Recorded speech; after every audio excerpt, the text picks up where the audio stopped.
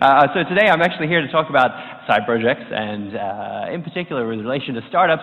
Um, when Sebastian and the team asked me if I would speak here at RubyConf, my first thing was like, you do know I don't know any Ruby, right? Apparently that is okay for me to come and address you guys because I know PHP. Uh, I'm kidding, I don't even know PHP. Uh, but since I don't know Ruby, I was like, okay, I guess I need to have a slide to establish some credibility. So I'm the co-founder and CEO of Envato. Uh, and we have something like 33 million visitors uh, every month to our uh, to our sites, and we have 250 people working at Envato, including lots of Ruby devs, many of whom are here in this audience, whom I will try not to embarrass uh, by, like when your mom shows up at school and you're like, maybe I'll try to be the cool mom. Uh, mass resignations ensue. we have 250 people who work at Envato. Uh, we paid out a quarter of a billion dollars to our community, and we're bootstrapped. Uh, which is kind of cool, but nothing to do with what I'm here to talk to you about today, because uh, what I actually want to talk about is not the part of startups that's when they get successful, uh, but more about how you get to a startup. Uh, so the stuff you can do on your travels towards a startup. So, uh, in my experience, uh, startups are hard. Like they're they're not easy things. They're kind kind of glamorous these days. You've all seen the Social Network and uh, that that poor HBO show. Um, but side projects are difficult. Uh, startups, rather, are difficult. Uh, for me, I've been running a startup now for almost 10 years, and it's been easily the hardest thing I've ever worked on, uh, like a massive learning curve upwards.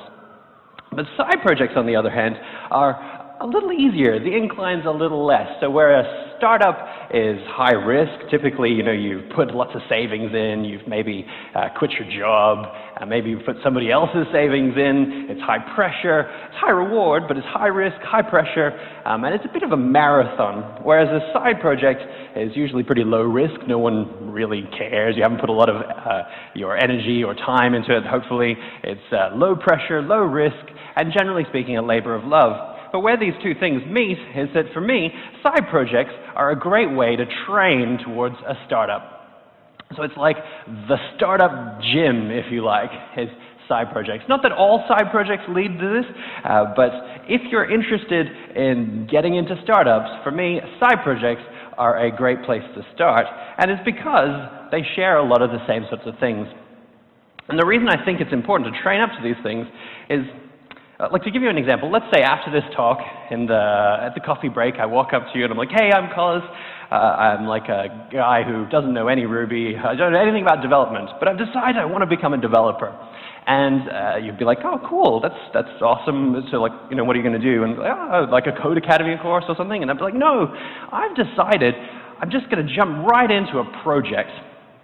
And the project I've picked is I'm going to build an air traffic control system. And I've decided to put some like real planes with real people because you know I'm an entrepreneur. We do that crazy stuff. Uh, we're going to make real people fly through my air traffic control system, and I'm going to learn everything from the ground up along the way as I go. I'll just pick it up. Don't worry, it'll be cool. And also, by the way, if it doesn't go well, I will take that to mean that I don't, I shouldn't be a developer.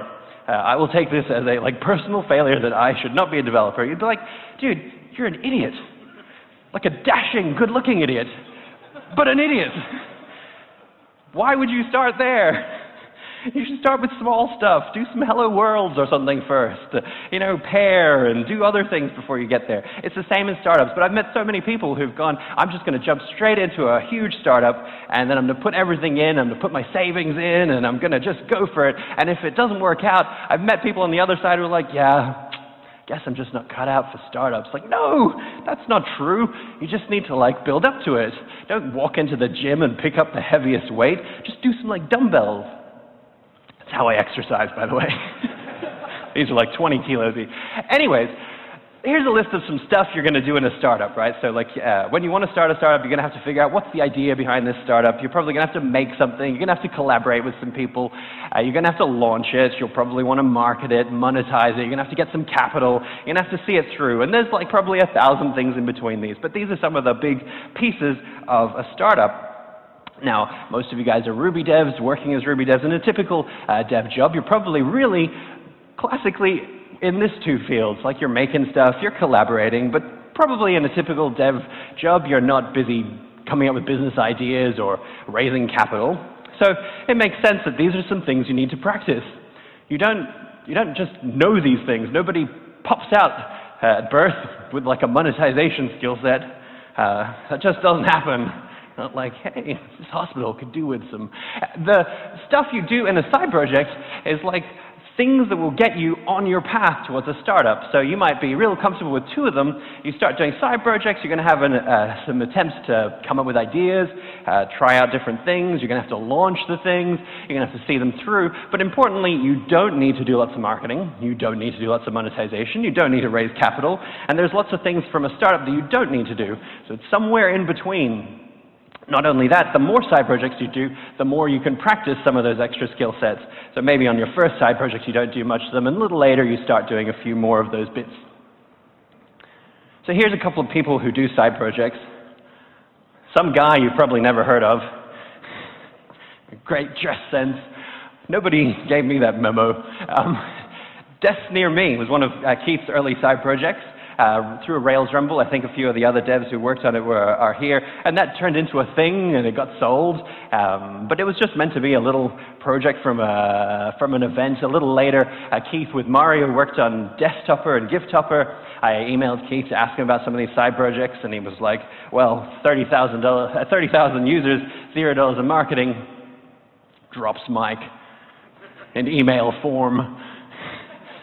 It was a great example, though, of a side project where he got to experiment with how to spread stuff, like how to, how to get it out there, um, without a lot of risk, without a lot of pressure. Probably not a great, like, startup idea that needs millions of dollars, but a cool little side project. Um, a little later, he started a side project while working in Envato, uh, which many of you know because he keeps talking about it constantly in his intro, BuildKite or BuildBox, uh, which is a really cool set of tools that many of us use already.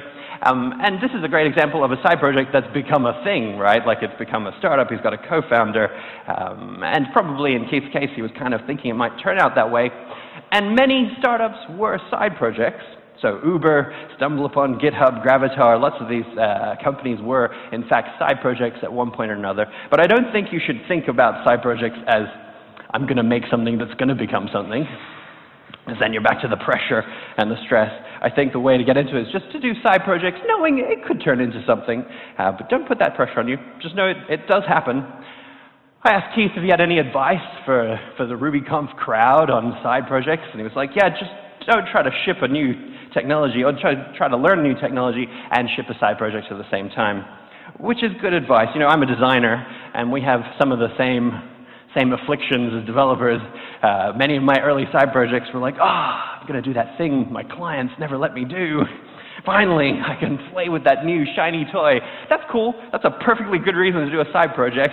Uh, it's just a different type of side project. And I guess it goes to the fact that you want to know your true north. You want to know what it is you're trying to do and get out of this thing. So if it is to learn a new tech, or in my case, experiment with some new awesome design, that's cool. Just do it for that reason. If, it's, uh, if you, you want to get better at finishing things or you want to get better at doing startups, that's also cool. And I think if you're doing it for that reason, probably bug standard Rails or whatever instead of a cutting edge framework is perfectly fine. Um, so you just need to be clear with yourself, what's my true north? Because it will help you make your decisions along the way. Another interesting person to, who does side projects is a guy named Ian Webster, who's like a Google uh, engineer. Um, and he's so into side projects, he writes about them at the end of every year. He's got this blog, ianww.com, where he writes a post this year in side projects at the end of the year.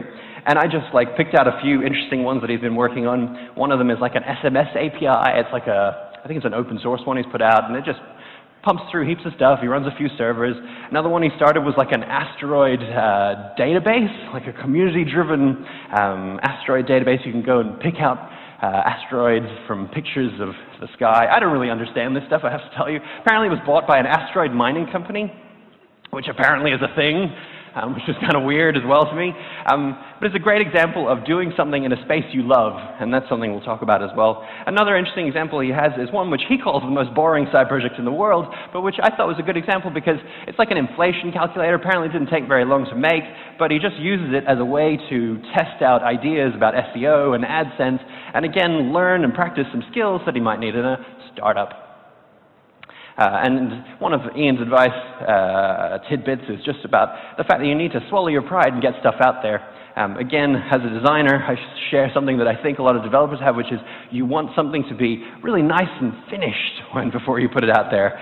Um, you know, it's like I feel physically unwell when the design is not finished and not complete and not right. Um, and you just need to get past that. It's great as a craftsperson, uh, but when you're interested in getting better at shipping and uh, finishing things and working towards startups, you want to be just really good at getting stuff out there and understand that it's okay. You've got to iterate. You're going to um, have time to fix it up later, and it'll get better over time. So maybe you're like, okay, great. I'm interested in startups or I have a passing interest. Uh, tell me more about this side project business. Uh, how, where do I start? And the first thing you're going to want is an idea, right? And if this was a startup talk, so periodically I do talks about startups, um, and the thing that I usually would go on about was like, okay, figure out the market size. What's the like total addressable market, and what's the business model? What's the, you know, a whole bunch of startup blah blah crap. Don't worry about that. This is a side project. It doesn't really matter. You can just pretty much ignore all that stuff. If you start doing a bunch of side projects, eventually you can start trying to pitch in some startup conceptions on your side project. But early on, you just need an idea. And it doesn't even need to be a tech idea.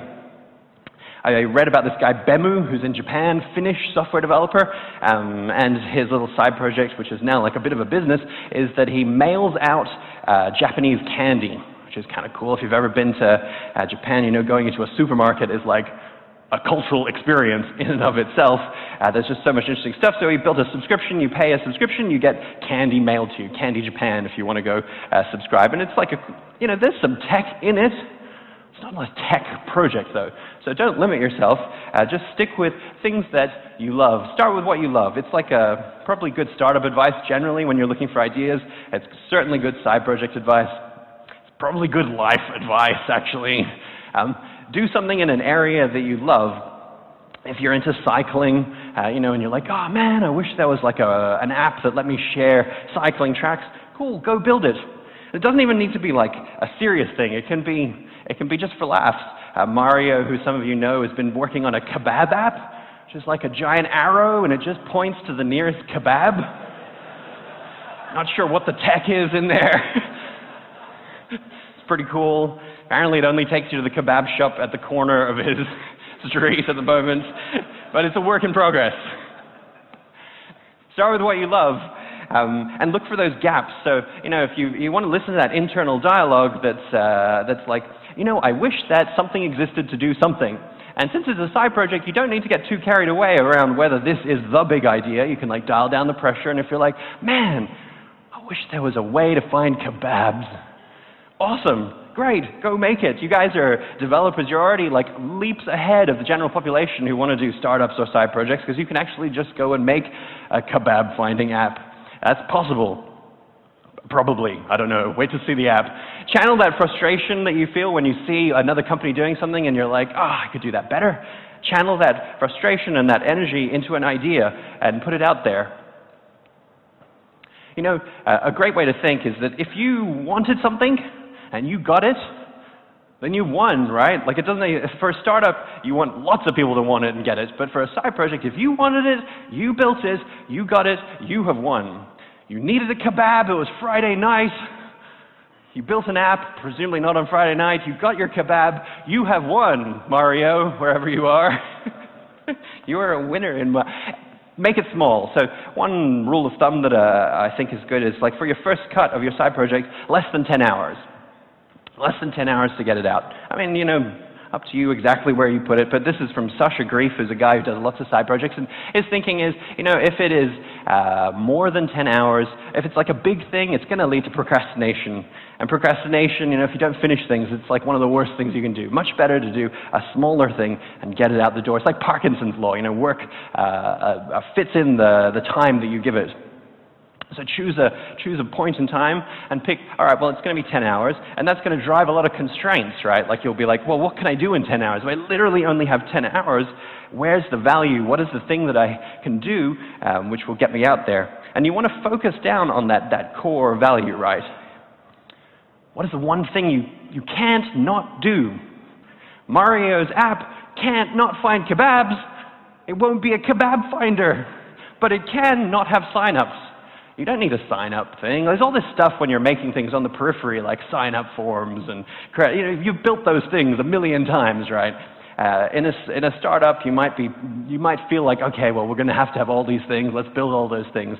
But this is a side project, right? It doesn't actually matter if you keep track of your users. All you want is the value. So it, it'll teach you to focus right down. If you literally only have 10 hours to ship, you will be forced to think about what is the valuable thing I'm actually trying to make here and it'll force you to, to focus right down. Remember, you can always iterate. You can always add that stuff later. And this is a great startup skill as well, by the way. So this is one of those skills that you will get more and more practice at, and it'll drive uh, the, the core value that's going to be in a startup one day. Remember, you've got nothing to lose in a side project. You're not banking your, your life's future on it. You're not investing lots of money into it. You're not uh, taking money from other people. You're not quitting your job. It's just a side project. If you literally only put 10 hours in, what have you got to lose? You can be a bit more reckless with side projects. You know, as you get more senior in your career, it's very typical to become a bit more conservative.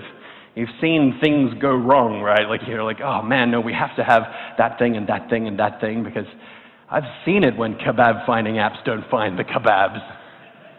Bad. You've seen it all go wrong and you, you, can become a bit more conservative, but now take the awesome experience that you have as a developer and marry it with that sort of youthful experimentalism you had when you first started out, and don't be afraid to take risks, because it's just a side project. It doesn't really matter. You have nothing to lose. But what if it sucks, Collis? What if I launch this thing and it's like, oh man, everyone's like laughing, like this is the stupidest thing. Didn't he know that Apple just came out with a kebab app? What was he thinking, wasting his time on that? We all have this dialogue which is like, oh no, what if I'm embarrassed? But you need to swallow that down and just get it out there. And remember that at the end of the day, nobody will remember. Most people aren't actually even that interested. I have worked on so many side projects that sucked, so many things that were actually kind of embarrassing. I made a, uh, one of my early side projects was I made a community for people who played Quake. Like this awesome forum and stuff. Nobody showed up. Uh, turns out there's like more to building a community than placing a forum there. The next thing I did was I made a Photoshop wiki, and I was like, oh yeah, all these people will contribute. It'll be like Wikipedia, but for Photoshop. The only people who showed up were spammers, so unless you wanted the Photoshop techniques of Nigerian princes, it was kind of a useless size. But nobody remembers any of these except when I mention them at a conference. Most of the time, nobody's even aware that I had all these crappy side projects. They only remember the things at the end which go well. And so you don't need to worry too much. Like if you make something crap, join the club. We all make crappy things. It actually doesn't even matter. You need to just swallow your pride and know that it is in the doing which is the important thing. It's getting stuff out there, and those things will teach you lessons. Later on, I got to work on a company that built one of the largest communities around, and it was from some of those early lessons and seeing, oh, yeah, okay, this little thing for Quake, uh, that didn't work out. It was probably because of this and this and this. And I got to apply those, and that then helps me make the startup better. And that's why you need to go to the gym before you start lifting huge weights. You need to start small and build up, right? Launching. So you want to get it out there. Maybe you've swallowed your pride, you're ready to put it out there. And an early thing I think a lot of people go is like, well, how do I do that? That's not within my, uh, my skill set. How do I launch this stuff? And I think as you do more side projects, you can work on this more and more. But a very early version is just pick a channel, whatever channel you like, and be your Twitter feed, your GitHub account, your blog, your email newsletter, whatever it is where people can follow you, and just keep at it. Just keep at that channel, delivering uh, value and useful things around the space you're interested in. You know, if you're scratching your own itches and solving your own problems, chances are you're going to attract other people with those same itches and they will be following you for value and possibly doctor tips on where to solve this. Get some cream. Um, scratch your own itch, solve your own problem, you'll attract more of those people. And those people, if you continue delivering value, continue delivering little side projects, talking about side projects, pushing uh, updates about those things, that's all you need to do. Just think about how did you hear about BuildKite? You probably follow Keith on Twitter. Maybe you know someone who knows him. You see him around the traps. Uh, it doesn't take a lot in those early days. You don't need to know how this stuff plays out, right? Like, you don't need to know how this plays out in full startup marketing because you're not trying to be there yet. You're just getting started. And getting started, it can just be putting stuff out there for the world to see and knowing that you're going to put out lots of stuff and the things that are going to get traction will spread and the other things, no one will remember them anyways. Don't overthink marketing. Uh, if you've done a bunch of side projects and you're getting pretty good at that bit, Then you can start going to some talks about startup marketing, and you'll probably find them even more interesting at that point. And then you can worry about that. But don't overthink it. Just generally, don't overthink this stuff. I think you want to focus instead on seeing it through. I used to be kind of crap at seeing things through, and it's, uh, it's like one of those things that I believe you can practice. It's like a skill you can practice. Like almost anything in life, you can get better at seeing things through. It's very easy to believe that uh, some people have willpower, some people don't. Maybe some people are good at seeing things through, some people aren't. I just don't think that's true. There isn't a, such a thing as a person who's not able to see things through. There's only people who have chosen things which were too big for them to see through at that time. It's, if you walk out tomorrow and you're like, you know what, I'm going to start running marathons, and you try to run a marathon, ah, maybe you'll fall over after a while. But if you start small and get bigger, build up momentum and get used to that feeling, first side projects, maybe 10 hours, later you do something a bit bigger, later you go, okay, now I'm going to collaborate with a designer as well, now I'm going to do some marketing. You just slowly work up to it, then sure, you've got a much better chance of succeeding, and you're going to have a lot more confidence to see it all the way through. Remember, the big things are going to happen incrementally. It's like such a common piece of advice, it's almost like a cliche that, you know, oh, big things, uh, they don't happen overnight. We all kind of know that, but it just takes reinforcing that people you've seen who are, have been successful in whatever, startups, or you can pretty much apply this to anything, they have started with small things and they have worked their way up. They have practiced towards that. And it's not about talent either. When I was young, and I think it's a very common misconception when you're young, to think that talent is important. Talent is valuable, it's useful, but it's not the be all. Talent for me is like where you start on the race. Maybe you have a lot of talent, you start up front. Maybe you don't have that much talent, you start a little bit further behind. But everyone runs the race. Everyone has to run the race, and to run the race, you need guts, and you need perseverance, and you need determination. And that's the thing that will ultimately set you apart. I've seen people who haven't had that much talent who made it really far, and I've seen some very talented people who haven't made it very far. Maybe they shot too big too early, maybe they just didn't have the, the stamina to see things through. You have to build on that stuff. Start small, start with some side projects, and know that you need those crappy ones to get better. I know a guy who started a side project. It was a cool little tool that he built, but he misspelled everything on the site it was just like kind of embarrassing how bad his copy was. So the next side project, he got a copywriter involved. And he was like, okay, I, obviously that's something that I need to work on. People were commenting on it. Maybe the things you think are important are not that important, but how will you know until you start? The more you do this stuff, the more startup muscle you build doing side projects, the easier things will get.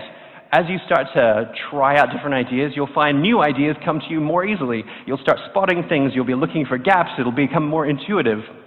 Intuition isn't something people are born with. Intuition is something you build up through experience. As you've been doing more idea searching, it'll just be more natural to you. As you become better at seeing things through, you'll get it better at seeing bigger things through. The internet's full of people telling you how to do something, right? I've just stood here for half an hour telling you how to do this stuff. At the end of the day, really, there isn't any formula, there's no magic trick, there's just doing it. You're here at this Ruby conference, which is going to expose you to lots of interesting people, lots of interesting ideas. It's a great time to be thinking about things, looking for ideas, being open to inspiration. And my challenge to you while you're here for these two days is to look out for an idea, choose an idea, commit to it, and then focus on doing it rather than thinking about it. Just focus on getting out there. Tell people you're going to work on this thing uh, and then get it done. If 10 hours is too big for a constraint for you, maybe it's five hours. Choose a five hour thing. If five hours is too big, heck, choose two hours. While I was making this presentation, I was like, I should build like a Slack community for people interested in side projects. I bet I could do that in two hours. Maybe you can extract some code out of something you've already worked on. Maybe you can write a blog post. It's like those writers who are like, I'm just going to write one headline they know when they write a headline, they'll write a sentence. When they write a sentence, they'll write a paragraph. When they write a paragraph, they'll write a whole page. This stuff will start to come once you get into it. You just need to start. So choose an idea, get out there, do it. And remember, great things happen when you're in the arena, not when you're watching from the stands. I'm looking forward to seeing all the side projects that come out of this conference, and I hope you enjoy the rest of the conference. Thanks very much. Thank you so much, Collis.